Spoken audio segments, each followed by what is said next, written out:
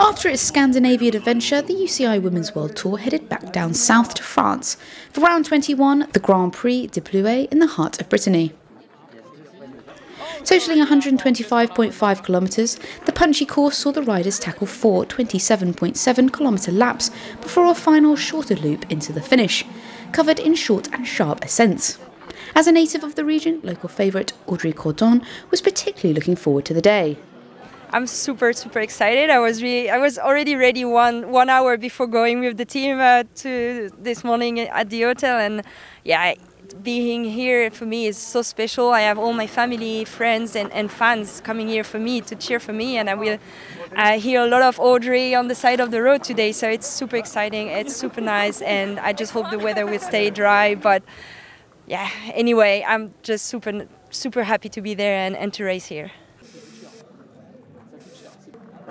I'm looking forward to it. Um, yeah, Plouay is always an awesome race. Um, it's a hard course, um, so it's a, often a very tactical race. And yeah, today we have a strong team, and of course uh, we're looking forward to the race and um, to lighting it up. Hopefully, we can um, create some excitement for the people watching. Yeah, I feel confident and feeling good. It's been a good season, so um, yeah, I'm looking forward to finishing it off on a high. And GP Plouay is, is one of the, the last races of the season, so it's really cool.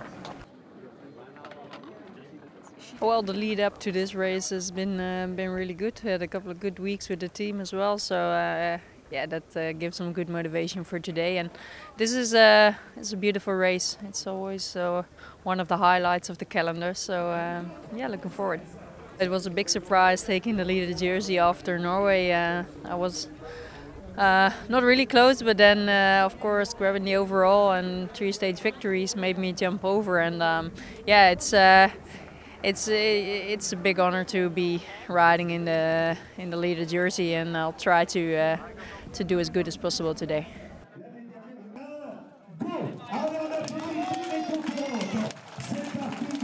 The bunch rolled out of Plouay on dry roads ahead of their trip through the Breton countryside, before building up a brisk pace that meant an early breakaway proved nearly impossible to establish. Cervelo Bigla's Lotta Lepistö was one of the riders to test her legs off the front during the first few laps, but nobody was able to stay away as the person began the final big loop. With 30 kilometres remaining, however, BTC City's Hanna Nilsson decided to launch a solo attack out of the pack and quickly gained 18 seconds. Having suffered with injury through much of the season, the Swedish rider's effort was hugely impressive, but with Cervelo Bigla driving things behind, it was only 5 kilometres before she too was brought back. Not long after, though, the fireworks finally began. As the penultimate ride up Ty Marrec climb saw Ashleigh Moolman Pasio put in several hard digs that strung the pack out before they entered the final small loop with 14.7 kilometres left.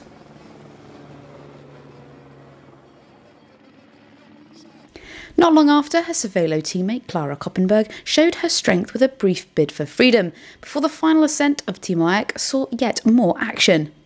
With Kasia Niewiadoma trying to go alone, Wiggle High Five's Elisa Longo Borghini reacted with an attack of her own and had to be chased down by World Tour leader Marianne Vos before the rest of the reduced pack caught up. Movistar's French champion Aude Biannic was next to make her move, followed by Boels Dolmans rider Megan Guarnier and Longo Borghini again, before another attack by Moolman Pasio whittled down the bunch yet further as they approached the final kilometre. With the favourites keeping each other in close check, it looked like the chances of a breakaway win were all but gone at that stage. But that did little to deter Alé Cipollini's Janneke Ensing.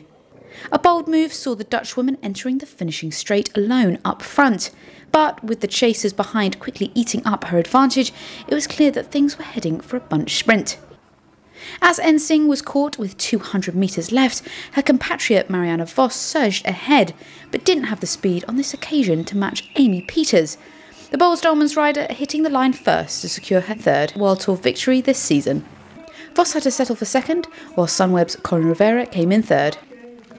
Biannic meanwhile was the best French placed rider in 14th. Was uh, nervous the last kilometer. One uh, girl from Cipollini she attacked, and Meg and my teammates she did a really good job in the last part, and I could totally trust her. And I thought, okay, I need to, I have to gamble now because otherwise you lose anyway. And then we start sprinting, and yeah, I was faster than the others. I'm a bit surprised. I didn't expect it that I could win this race because I'm here because yeah, we have not that much riders at the moment. So I'm really happy that I uh, can take the win. I know this is a really fast run in, and as you can take the speed from the yeah from the little bump, then it's uh, it's very helpful. Uh, but I still came too early, and Amy came around, and I know she's very very powerful and strong. So uh, yeah, second. It's uh, my second time racing here and my first podium here, so I think uh, the girls and I can be really happy with uh, the effort that we put in today.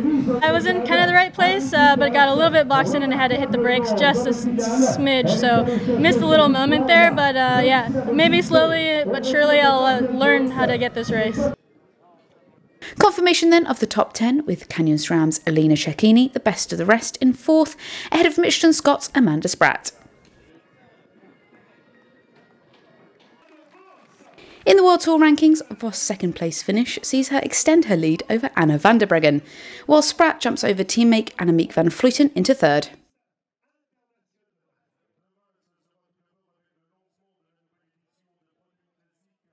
And after a successful 13th place, Liane Lippert remains second behind Sofia Bertizzolo in the youth standings.